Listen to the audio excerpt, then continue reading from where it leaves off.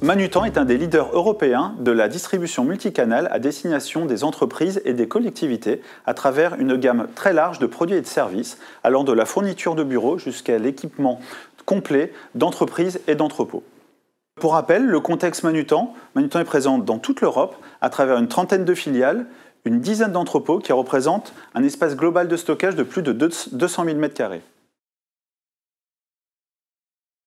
Nous avons décidé euh, d'aborder ce programme en, tout d'abord en faisant un état des lieux de, de l'ensemble de nos entrepôts, d'harmoniser le besoin pour pouvoir ensuite choisir notre solution. Et donc pour cela, j'avais besoin d'aide.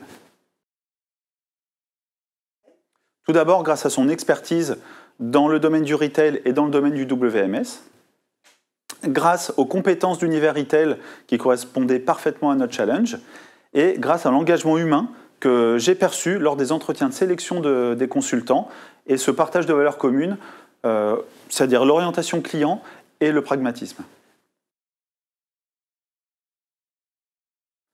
Très concrètement, les consultants ont parfaitement répondu à mes attentes, se sont totalement fondus dans l'équipe projet.